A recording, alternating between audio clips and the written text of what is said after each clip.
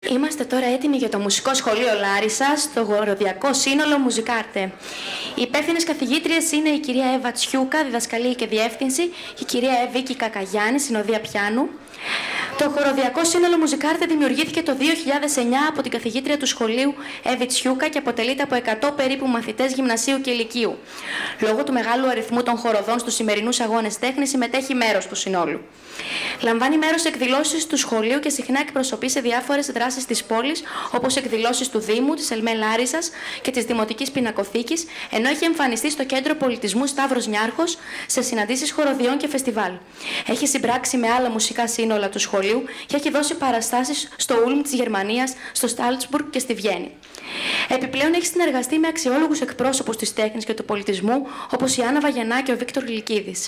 Το Μάιο του 2018 συμμετείχε στη συναυλία του Νίκου Πορτοκάλογλου με τίτλο Σχολική εκδρομή στο Δημοτικό Οδείο Λάρισας, ενώ στις 21 Ιουνίου το 2, του ίδιου έτους εμφανίστηκε στη μεγάλη επαιτειακή συναυλία που πραγματοποιήθηκε στο Θέατρο Βράχων, στο Βύρονα, ύστερα από πρόσκληση του ίδιου καλλιτέχνη.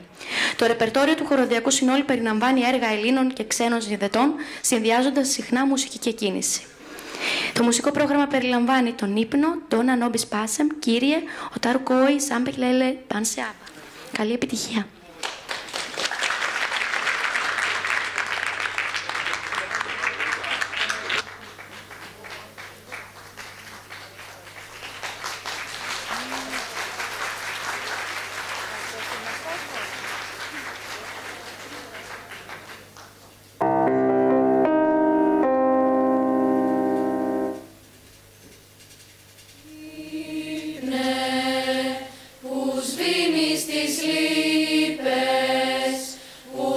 Το φως ύπνε